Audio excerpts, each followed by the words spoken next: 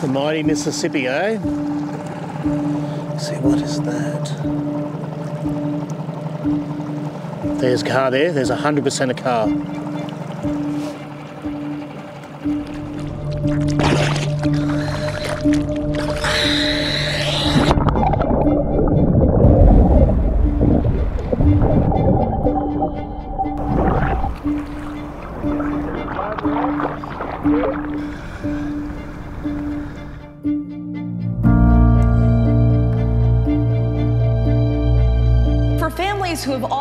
Given up on finding their loved ones, this team is a last hope.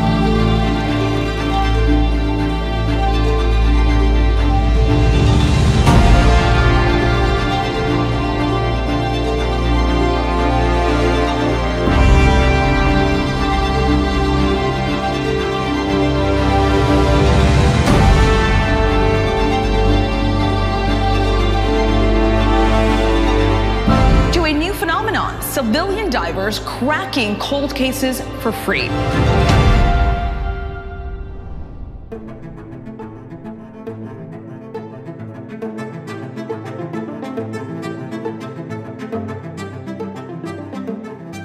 Today, we're kind of taking a break here at the Gateway Arch in St. Louis, Missouri, also known as the Silver Rainbow, at the Mississippi River. Now, for those of you who do not know who Down Under Dan is, he's actually kind of started like his own little mini AWP movement down under.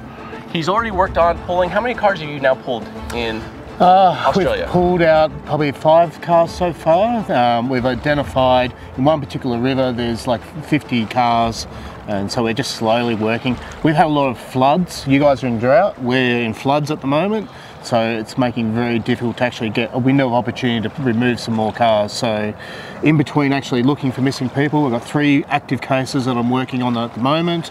Um, and trying to clean up the environment as well. You know, it's just a balancing act with the weather at the moment. It's just crazy down in Australia.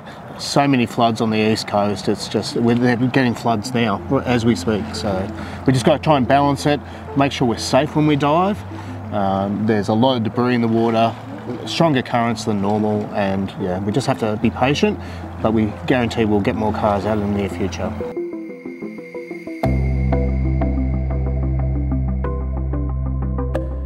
It's an excellent spot, as you said.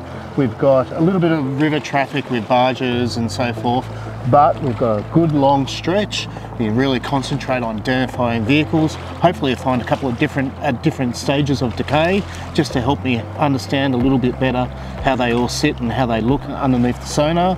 Uh, looking for a new one, looking for a one that's maybe 10 years old and then maybe we'll go for one that's maybe 20 years old and try and compare them see their state of decay so we can actually pinpoint it'd be great to be actually go find a vehicle try and work out what it is on top and then dive it and to see how far close we are Yep. And with that, we want to be you know very detailed, not just with Dan today, but we want to really focus more on video for you today as well. So that way, we're bringing you into it for those that want you know more of this. Like, how are you able to tell it's 30 years old versus 10 years old versus a fresh vehicle just by looking at the sonar? So that's going to be part of the training today. Sure. And Dan comes into this with a law enforcement background as well. So with this, you've been with us for the last two weeks, especially on the uh, Donnie um, Messier case. Yeah. Was really good that you helped play, you know, lead on that one as far as using your investigative, you know, natures and talents of, you know, thinking of where should we be looking next.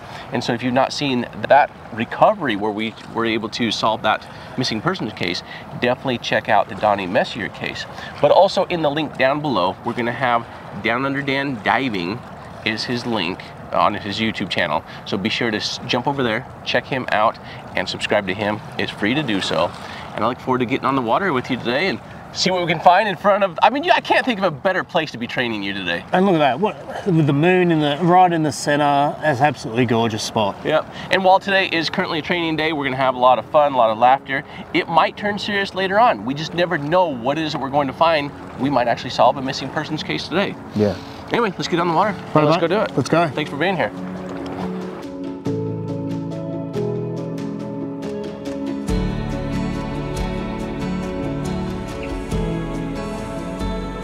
So the big thing in working with you, Dan, is like what equipment do we use and why? Now you're currently using Lowrance for your side scan. Or No, no, no. I'm using the Humminbird Helix 8.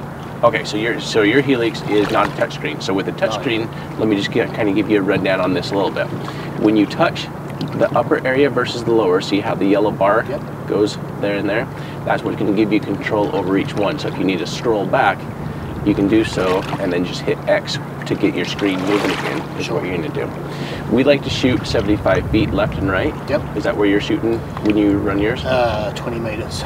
Okay, so roughly 60 to 65 feet is where you're running. yeah. So we find that that gives us a good um, idea so that way when a vehicle pops up, it's going to pop up roughly the length of what these grids are from 18, 36, 54, 75. Yeah. Anything that's black once we get on the water, you know, anything that's black is water column versus anything that's, you know, yellow is going to be uh, your river bottom and that's where your objects are going to show up at. Yep. Uh, over here, we're using the Garmin uh, LiveScope on this one. Usually we shoot down, but today I'm going to run it a little bit different for you so that we can see more of your target that you're coming up on rather than just being right over it. Um, if by ever any chance you like end up hitting something and it just gets jammed up, uh, you know, just hit the home button, go back to LiveScope, and it will reset it here for you. So I've got the um, Humminbird live scan, um, which is all in one. So I use the one monitor. Oh, you have Live. I have live. Okay, Uh, so but so you, not the Garmin, but so- I have the Humminbird. so you're familiar with how the Live works too, then. I am. Okay, so we got the down, which picture in time, side, picture in time, and we'll show more of it when we're on the water so that way our viewers can actually see how it's working as well.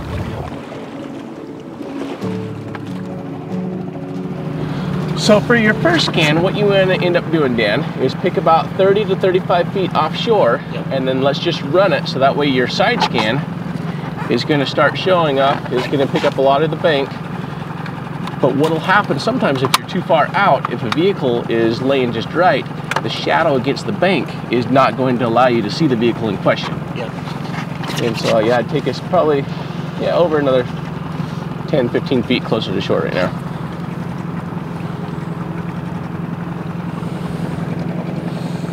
Now the optimum speed that you go for scanning. Uh, so your optimum speed, we like to be two and a half to three and a half miles per hour. And you found over 50 vehicles uh, I have. this past year down in uh, Australia. Yeah, absolutely. There's a number of rivers uh, that I can get access to. There's a couple that I can't. Um, so we're focusing on the moment on what we can get access to. So you can see plenty of logs. Lot of fish swimming around down there too. Yes, the on the fish? live. On the live, yeah. Now, when you first started, you Yep. know, from my own personal experience, everything looked like a car when you first started. Yeah, that's true. So, what, where, where was like your turning point for confidence when you're like, no, 100%, this is a car versus, no, this is a pile of rocks and logs? Well, I'm always looking at shadow, seeing what kind of shadow it casts, obviously the shape of the object, and comparing it to a, a vehicle. And after diving a number of spots that you, you'd swear it was a car, you dive down on it and you realise no, it, it isn't. I think the, the trick is hitting it from multiple angles, and that actually really helps establish okay, well, you know, from this direction it looks like a car, this direction looks like a pile of rocks. So it's just becoming familiar enough and putting the time on the water to determine the difference between those objects. And when you're running your live scope, do you like to run your live scope? Right now, I've got it on forward versus, you know, normally I run it on down. Where do you like to run your live scope? I've only used it on down. Um, I'm, it's still fairly new to me, so I'm still getting used to using it. I prefer the side and down first, finding an object, then sitting over the top of it with a live scan and just confirming it. Now, the Mississippi, there's not many times where you can actually come out and get in the river for diving. Today, the river is nice and low. Perfect uh, diving conditions if you're going to be in a river, especially the Mississippi. Visibility, not so much. Not so much. Beautiful and flat off to our right hand side. Plenty of debris on our left. A lot of logs we just went over now. So there's that large shadow on the right hand side. Just from from where we saw Carson. And so as uh, Dan is scanning here, anything, so if you look at the depth right here, 11 feet, and you compare it to the grid lines here, anything that's black is going to be very close to this 10, 11 foot as it goes up and down. From the boat, the boat is traveling this direction, so 18, 36, 54, and then you have the shore. So the, all the dark here is the shore, so there's 54 feet over there. And then you have the water column here, and then he's casting 75 feet to his right as well. That, you might have something right there. See how it's laying a different direction? Yes. So if you focus in on that, you might have a vehicle right there. It actually looks like two logs, so probably not but we'll definitely want to double check that. I want to go out another six foot and go back the other way. Yep. But I might have passed you this camera. Yeah, and it was 36 feet over, so yeah, I would go like 20 feet over 20 and then feet over. go see if you can hit that again, get right over the top of it with both your down and your LiveScope, and it will really tell you if we have a vehicle there or if it's just logs and debris. Now you have got your new bit of equipment, the magnetometer. I think this will revolutionise what you're doing in regards to do you foresee you would just be scanning with the magnetometer first? Well, except then we start picking up big barges like this. Yeah. So big barges like that, so we can't be scanning next to that where we would expect it to work. Over here a little bit more, yeah, when we're further away from it, or if we didn't have any barges in the river, we're going to be using it in Atchison uh, on a case for Billy Bob and Mary Black, where we believe uh, their vehicle, there's a Honda, may have been. Our, si our side scan wasn't picking up on it. However, a fisherman had reeled in a mirror that matched their Honda car. So we'll definitely use the magnetometer down there where there's no barges and no other debris in the river. Righto, so we're going over uh, an object now.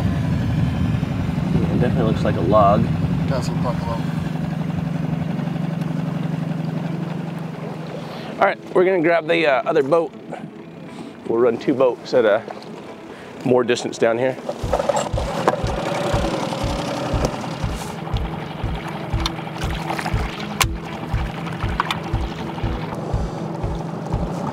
So what I'm going to do now is I'm just going to go in and out a few times just to make sure there's nothing directly out from underneath the arch.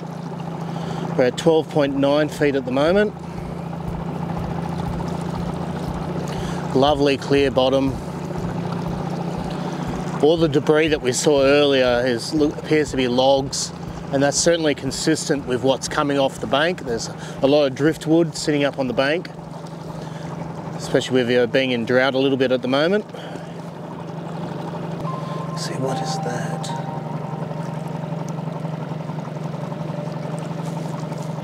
So we're only at 13 feet at the moment, uh, down to 14 feet.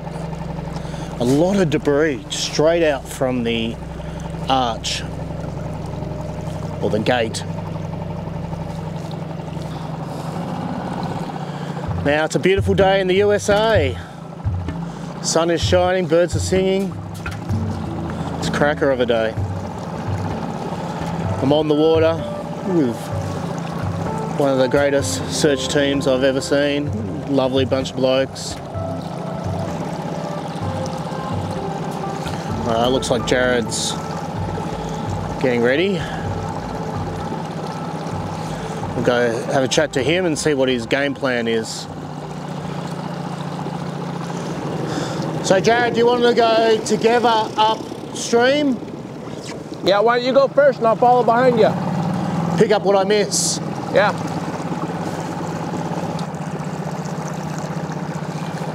Sitting at seven feet at the moment, just coming up to the barge.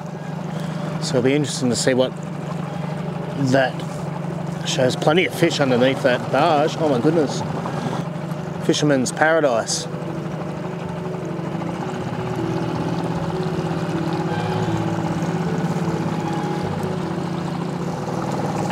It's a very serious job this, looking for lost loved ones, but we also get the benefit of spending time on the water, which is very fulfilling, relaxing even. I find um, I'm most relaxed when I'm scuba diving, but this is a good second spot. Sitting on top of the water, just scanning along, looking at the topog- topography of the water underneath. Ooh, what's that? Is it that right there? Yeah, it's just those logs. Just so I'm running a little from the angle I hit it earlier.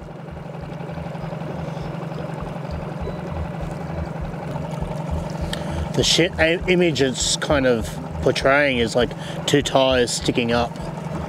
There's a car there. There's 100% a car. Yep. Car there, Jared. To me, it looks like a very decayed car. Is this your first one? How many have you found? Is this your first one? Yeah. So you missed one. I? Sorry.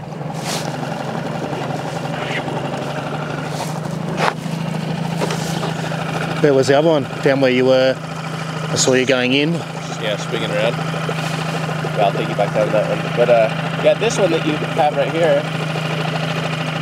Yeah, it's tough to say. I would say 10 to 20 years Yep. is probably what that one looks like. I think I would like to change that to, to down. Yeah.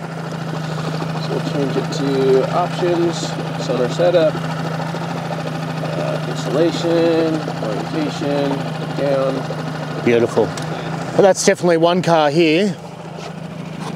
Plus the motorbike sticking out of the um, the water there. But yeah, let's head up to the, uh, let's cover all this in, all the way to the building. Okay. So I see the one on the right hand side there. There's one on its roof over there. You can see the four wheels sticking up. There's one directly below us there on its roof. That's that one there. Might just go out a little bit further and see if I can get exactly over the top of it with a live scan. Saw the one there, saw one out there, saw that one. Alright, see if you can find two under the bridge. One's almost directly underneath this uh, this first bridge support, Yep. about this far out. Okay. Ah, so we've gone over it. So it's over there.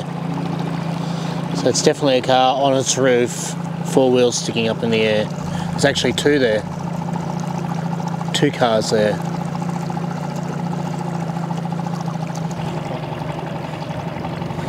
So we're over the top of something I think, there. I think yeah. that's it right there.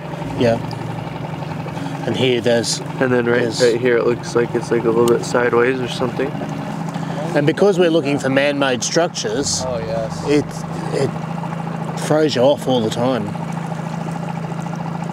Certainly when you've got a nice flat bit of riverbed and the car sticks out like a sore toe, it's not so bad, but does make it difficult. And as I said, the, the floods that come down here bury the vehicles under logs, very difficult to see. So it looks like there was once road access here, so we just have a bit of a look around here just to make sure there's nothing hiding. Looks like it's had a fair bit of flood damage though with the Jersey curbs sitting in the, the rubble. You can actually see an old concrete leadway out there, so they must have used this as an old pull-in spot.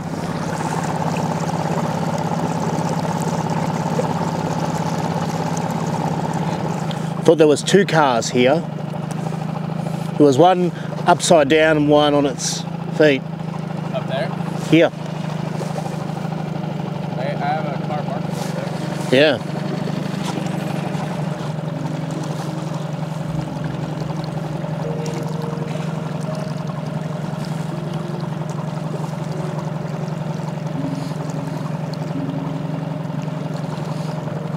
Yeah, I can see it.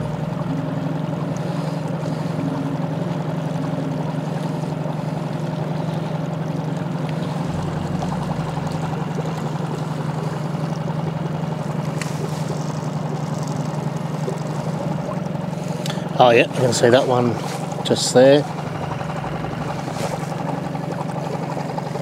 So you've got this one here, Jared, that's on its roof.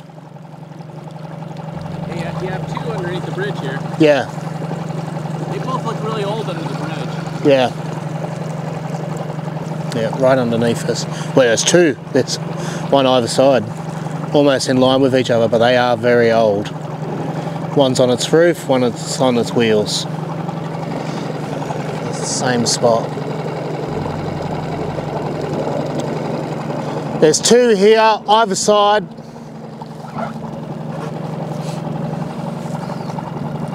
Yeah, you can see the wheels sticking up. Pretty much right over the top of it.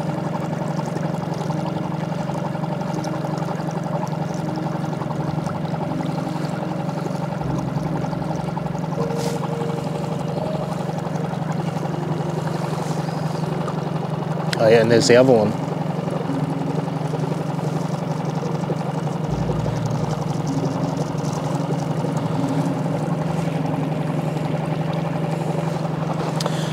Yeah, the one that's there, it's on its roof with its wheels up. That one looks like a good one. Okay, mark that one for you.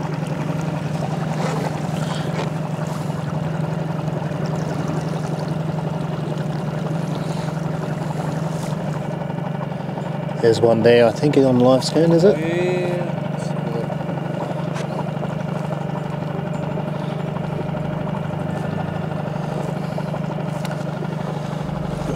Run into him.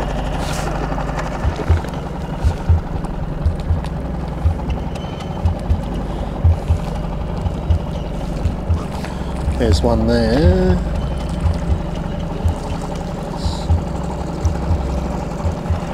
This is where electric motors are good. Oh yes.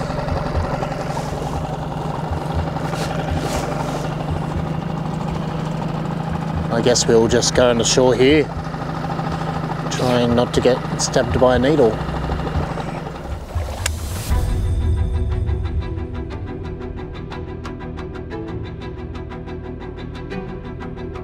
Just be real careful down here. There's a lot of garbage in the water, uh, a lot of fishing line, a lot of cables and stuff like that. So just be very cautious of your surroundings when you're down there. Yep. So my dive plan at the moment is I'm going to float out to the marker, follow the marker down, see if I can identify the vehicle, plate, badge, anything that can identify it. Once I've identified and checked it, I'll probably anything I can bring up, I'll bring up, hand it to you guys, then I'll go back down for a second dive, do a perimeter. Great, Okay. great.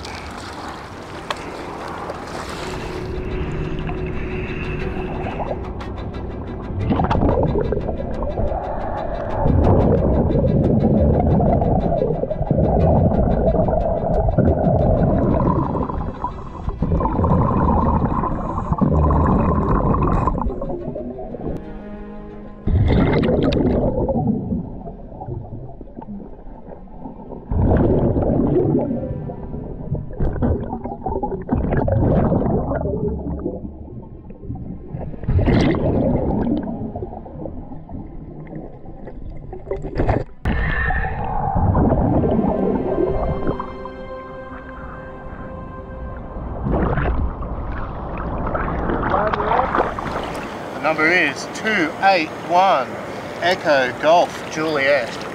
Missouri plate, four door sedan, half upside down, half on its side. City of St. Louis Metropolitan Police Department, non-emergency Hopkins. if you can give me that plate number that you said that you were able to see. Yep, it's uh, 281 Echo Golf Juliet. And then just to read that back, that's 281 Edward George John. Correct. All right. All right. Um, I have all the information that I need. I'm gonna go ahead and pass this along. Have PD um, respond. Um, give us a call back if you guys find anything else, um, like a body or something like that. And um, yeah. Okay, yep, we'll do. No problem. Thank you. Take Yep, care. you too. Bye bye. I only had uh, one buoy left with me, so I marked a vehicle. Since we've given Dan one on its side, one that's upside down, we're going to give Dan one that's also upright on its wheels. So I, while I found four down there, only one of them was upright on its wheels. So he does not like the visibility in this. We've been spoiling him all week with visibility of like three to six feet, and now it's down to one inch, which is perfect for him because down in uh, you know down in Australia, he actually only has one inch visibility for some of those rivers that he's in as well. So it's perfect for him. He's an incredible diver. He's been diving for I think 10 years now. Um, as well as with his law enforcement experience, with his detective skills. But he's really been a uh, valuable asset having him up here in the States for the last couple weeks training with us. So Dan is definitely somebody you want on your team. I wish he lived closer. I put him on the team full time for sure. Anyway, he just went down on this one, so we're gonna go circle over there, see what he can pull off of it, and then we'll jump them down to the other one, the uh, other one down river, and see what we can pull off of that.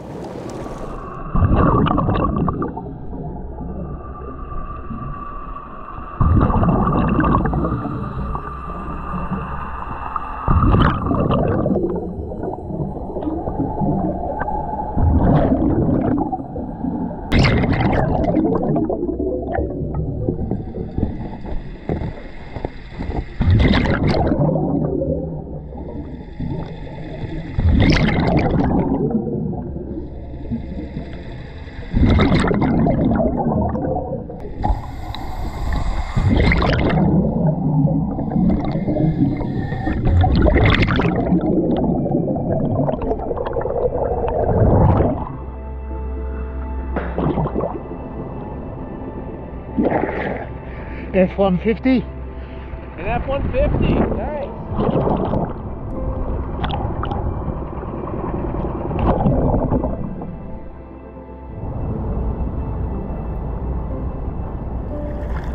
We don't need that. F-150 though. No plates. Again, on its side. Been in there, have to be 10 years. Yeah. It's been in there a long time. At least 10 years. You might be able to work it out by the emblem. That's a souvenir for you. That's a real American Ford souvenir. My wife would be so pleased. Yeah, I know. Let's see.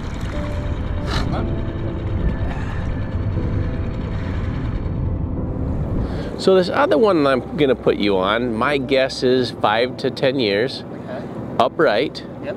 And then the other two, actually the other three, you can almost walk right out to. You'll walk right out to them and run right into them. Yep. So we don't even need buoys on them. Excellent. But yeah, we'll put eyes on them and What kind of shape does the car look like? it looks pretty good. I mean, my question is like, is it actually gonna have windows in it or from the debris coming down the river over the past, you know, a couple years, has it smashed the windows? Well, that F-150, it had the front windscreen in and the passenger window in, so Yeah, so there's a good chance. good chance the glass is still in it. Yeah, and, and tempered glass, I mean, window glass is actually pretty durable. It takes a lot of force to actually break out a window. I don't know if you saw the um, uh, the other day. I actually pulled a whole windscreen out. The vehicle had rusted away completely, but I pulled the windscreen out. Oh yeah, I saw that one, yeah. At first we thought that was a boat, right? That one? Or a tow truck or boat or something. Yeah. Oh yeah, yeah, that was the tow truck. So Peter was asking me just a moment ago, and we can uh, you know, give the viewers a little bit of information on you. So how long have you been diving? How long have you been uh, in law enforcement? What's uh, Dan's history? So I've been a police officer in New South Wales for 12 years now. I have been diving for the same amount of time. When I joined the police, you do have a few days off.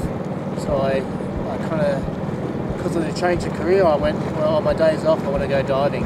Always, always snorkeled, and I just went, you know what, I really want to learn how to dive. So one of my sergeants actually uh, has his own dive boat and compressors and has trained me and then I went and did my proper certification and as they say the rest is history I've been diving lived about an hour and away hour and a half away from the coast so I was so desperate to go diving I decided you know what there's a, a little um, river down there I'll go and dive that. Always fascinated by shipwrecks and all that kind of stuff. So this was like a, a natural evolution into diving on old cars.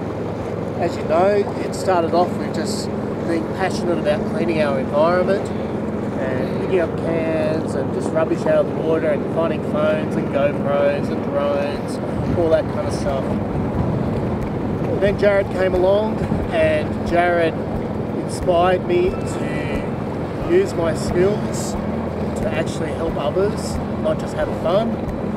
And as a result, I started looking for Amy was our first missing person we started looking for. My wife and I drove up to Queensland and searched for Amy. We've got our three active cases. Uh, had a bloke out at Dubbo we looked for. So we, we rely a lot on the public to reach out to us. Jason, uh, Nick's dad, reached out to me and said, hey, I saw you talking to um, AWP. Um, can you help me? No, I was in Queensland at the time. I literally organised the boat while I was sitting at the beachfront and went down there a few weeks later. And we've been searching for a year now for Nick. We're going back down in January. We've got one particular target that is looking quite promising. Never count your chickens until they're hatched. So a lot of work ahead of us. Now, with your water down there, you know, what kind of depths are you working with as well as visibility? I know that you have, you know, you've been ocean diving, so you have 20 to 40 to 100 feet visibility versus, you know, this, earlier this week when we were in Pittsburgh, you had, you know, three, four feet of visibility. Now today you have one inch of visibility. So what kind of range are you getting down there in Australia? So our range of visibility is, you know, from one inch to an arm's length to two meters. Uh, so it just really depends. So they're five foot. So it just depends on the particular waterway. Our waters are exactly the same like the same. Very dirty, very hard to see. When we were down in Tassie, we found a lot of uh, tea tree stained water as well. So the water's crystal clear, but it's stained with this brown tinge. So that's quite an interesting dive to do as well. Depths are very similar. I wouldn't call this deep diving. This is, know, we're only talking 12 feet, I think was where the F-150 was. So it's not deep diving. You still need to be careful uh, with your uh, getting caught up on entanglements. That F-150 had fishing line all over it. Yeah, we, everyone loves a good story. You can't let the facts get in the way all the time, and that makes it hard when we go to investigating these kind of things because you're going off rumours, you're going off this and that. Saw it with um, Donny. You know, there was all these rumours saying that you know this had happened, that had happened, and it was literally a stone throws from his parents' house in the in the river in the one hole that we found. So just some good lessons have learnt, been learnt since I've been here. Not to be too carried away with rumours.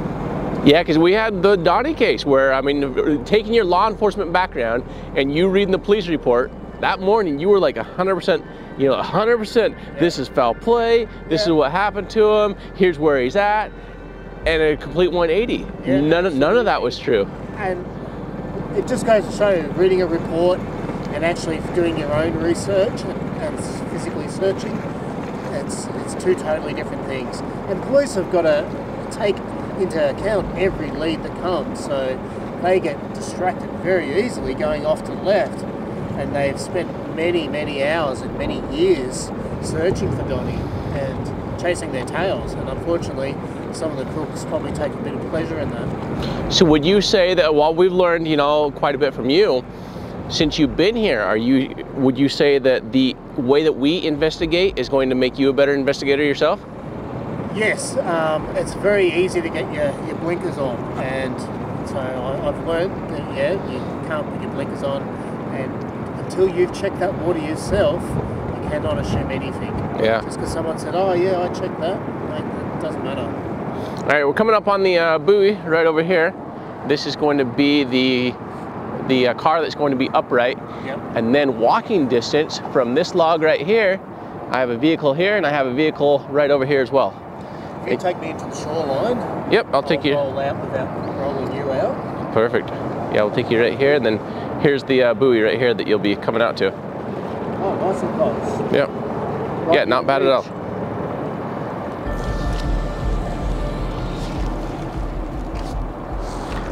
So what I have on sonar on this one, I've got this one that's upright, and then right where my red boat is at, you can walk out to it. There's gonna be another one right there within three and a half, four feet underwater, only about 10 feet out. And then just beyond that, another eight feet or so is another one, same distance out. Uh, both of those are gonna be upside down. This is the only one that was upright in the river.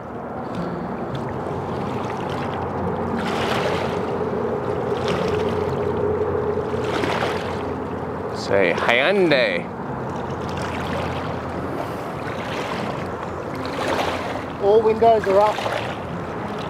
And I try to get the badge off the back, it just fell apart. No plates. Okay. Front windscreen's out. Rear window is out. But all windows are up. As I said, I had my hands full, so I just had to get up. I thought it was a Toyota at first, but I couldn't quite work out what that was underwater. Since we are not pulling these, and the front and rear window are already out, Do you want a window breaker? Do you want to bust out a side window? Come to mention it, I've already got my AWP window breaker. All right, Something that every car in, in America should have. I agree with you.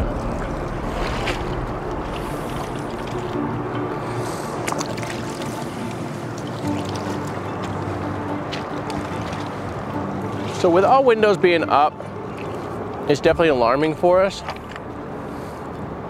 With the back window and the front window being out, with it facing up and downstream, it can make sense that if the back window gets blown out, front window gets pushed out from logs or other debris coming by.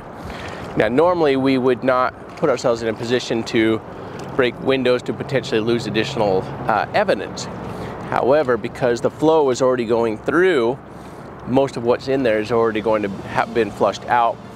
And because there's no plate on it for us to identify, and we're not pulling the vehicle today, we're going to take this extra step today based upon these conditions, and we're gonna go ahead and bust out the side window, and Dan's gonna go ahead and do a final check inside to see if he can clear this vehicle. If by chance there are remains, now at that point in time, then law enforcement will be brought in, and this will turn into a crime scene. Now, because the current is not strong today, that's why we're also not concerned about breaking windows out. For us to, if we were in a stronger current, we bust a window out, and there were happen to be remains in there, then we could have the potential of losing the remains. But this is so close to shore, we're only 15, 20 feet offshore in a nice calm current.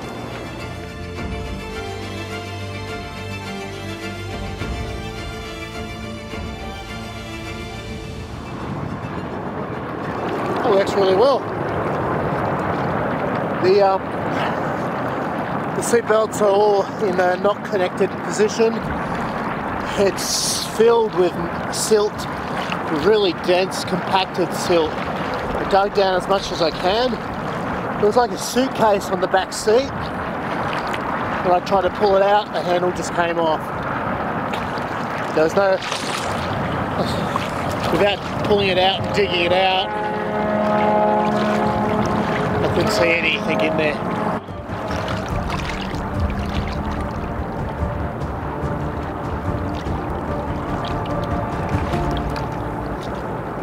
Ah, see, he found it. What is it? 773 Bravo Lima Alpha. Yeah, but what kind of car is it? No, I just got the plate off. I'll go back down and have another look. All right. It, start, it drops off quick. I don't want to go too far. All right. Seven, seven, three, Bravo Lima Alpha. Dan's gonna see if he can identify what type of car this is.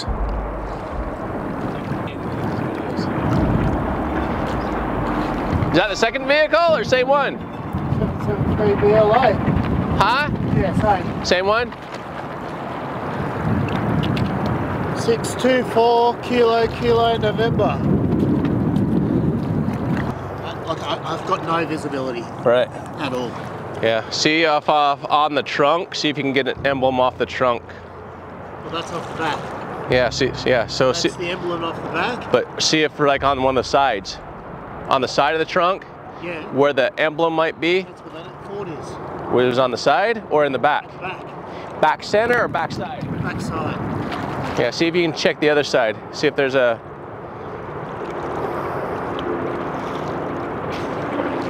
car. Is it a car? Six two four KKN.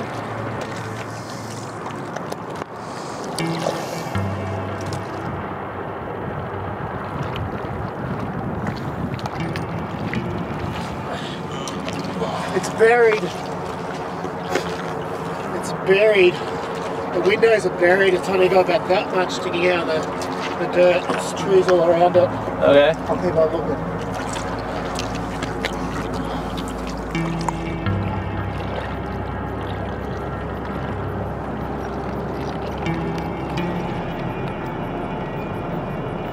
Hundred percent red. All right. where the back of the bumper is, it's like riding, but it's built into the moulding. It's not like a badge you can just pull off.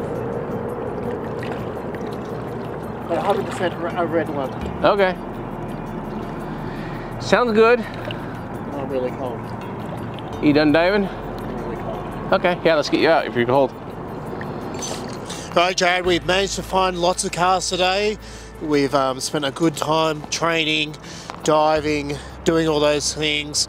We've identified, was it three plates we got off? Three plates. Three plates. And so PD, PD is supposed to be coming down, but I've not seen him yet. So we have looked at Google to Yep. see if they're associated with any missing persons cases. We've not been able to identify anything there. So my guess is they've just been dumped. And the thing here in the U.S. is we find that every five to seven years they they wipe the systems. Like they don't keep reports. crazy. I And don't know. I don't know if Australia is the same way. No, no. Once it's on the system, that stays on there. Okay. So yeah, All right. So there's three things that I want to do today with you. Yep. One is we want to make sure that people know that you have a YouTube channel as well. Yep. Down under Dan Diving. that's correct. The link is in the description down below, so be sure to subscribe to that. Second, we need to get you warmed up. I know you got like a little leak going on somewhere. Yeah, I'm really cold. So let's get you out, get you warmed up. And number three, let's introduce Dan to a couple of the activities here in America. With, I think we should head up. I think it's like 631 or 691 feet. Little like windows we can look out at the top. But uh, hey, really appreciate you coming to America. And if you have not done so already, please subscribe to us as well. Again, it's free. The link is in the description down below. We'll see you on the next episode where, fingers crossed, we're going to be able to help a family bring home their lost loved one. Thanks a lot.